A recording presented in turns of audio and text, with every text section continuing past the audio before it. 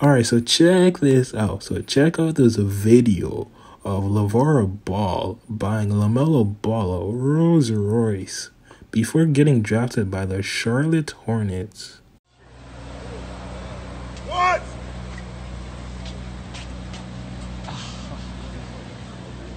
hey man, tell him to turn around and face it this way, dog. Oh, stop on us, dog. Put my feet in the knee, baby. I gotta get it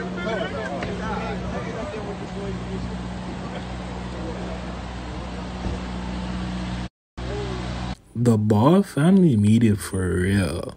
Like, I actually rate what LaVar Ball did and the way he molded his kids into becoming NBA pros. And of course, LaMelo and Lonzo's case. But when it comes to LiAngelo, good luck on your rap career because they ain't no fucking way LiAngelo Ball is making it to the league. Sorry to tell you, he's a six-five shooting guard with limited handles and limited athleticism who plays like he's Joel Embiid. But the issue is, is he's six feet five inches tall, so no. But the route he took his sons into getting into the NBA, especially LaMelo, was eye-opening to see because he basically told his sons, fuck high school and just focus on ball, which of course worked out. And also, let's not act like every athlete is doing that anyways. You really think that when LeBron was 16, he was studying algebra and trig identities and fucking mathematics when he knew, in all likelihood, basketball was his dream job and he had a 99% chance of making it? Or even Zion Williamson. When Zion Williamson was at Duke, he was not studying. Like, get the fuck out of here. When Zion Williamson was at Duke, he had tutors with him where they would tell him the answers or do or he would do like easy assignments that a 12 year old could do. Like, let's be real. Imagine ESPN marketing Zion with ESPN paying millions of dollars for ads centered around Zion playing and hearing that Zion won't be participating because he failed a test? Get the fuck out of here. Zion brought Duke hundreds of millions of dollars, maybe even billions of dollars. They will not give two shits if Zion got an A or an F on an assignment when he's bringing in that much money.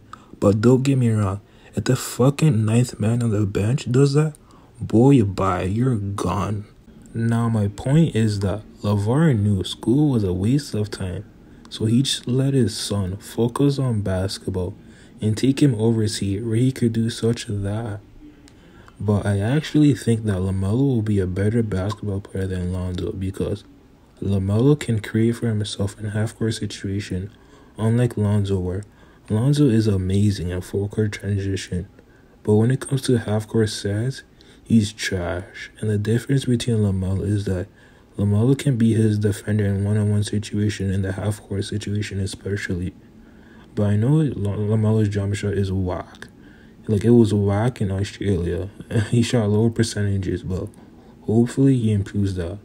But if he doesn't, he can for sure be a six nine version of Rajon Rondo, with being able to break down the defense and create for others.